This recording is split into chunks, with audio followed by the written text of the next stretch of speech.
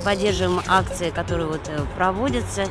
Причем у нас ежедневно наши коллеги выходят на такие акции. Мы раздаем маски, рекомендуем нашим жителям, чтобы берегли свое здоровье, одевали маски, перчатки по возможности. Но очень приятно, что нас слышат.